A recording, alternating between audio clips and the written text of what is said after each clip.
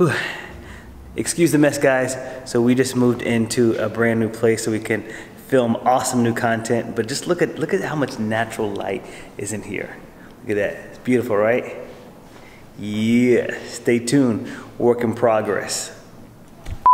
Okay, so instead of a dad joke today, I have some awesome trivia for you. All right, you ready? How many apples grow on trees? All of them.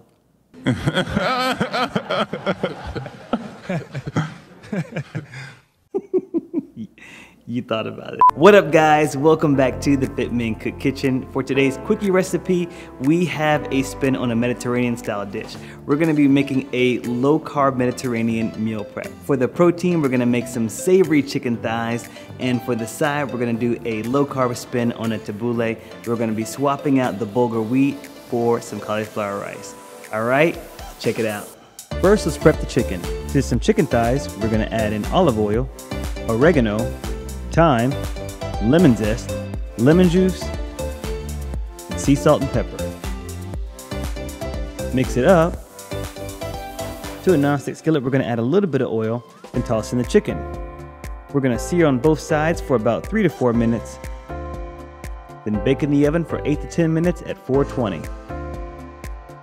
Garnish with fresh lemon, pepper, and sea salt.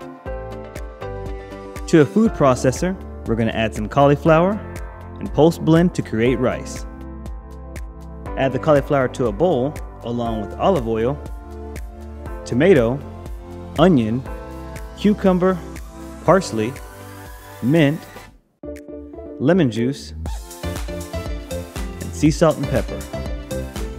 Fold it all together and add it to a bowl. Now let's bring it all together. Add in the low carb tabbouleh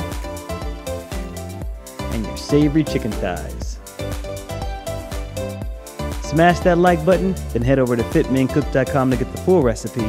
And remember to download the Fit Men Cook app for more easy, healthy, practical meals.